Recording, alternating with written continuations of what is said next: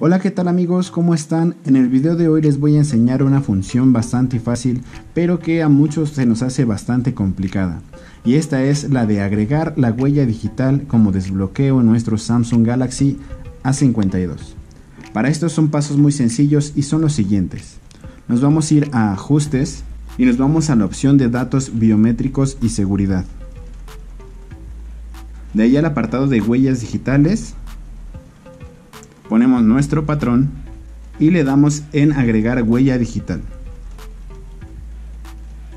Seguimos todo este procedimiento que se nos muestra a continuación y listo. Tendremos nuestra huella digital en nuestro dispositivo. Vamos al proceso. Es importante ir moviendo un poco tu dedo para que todos los bordes lleguen a leerse perfectamente por este sensor.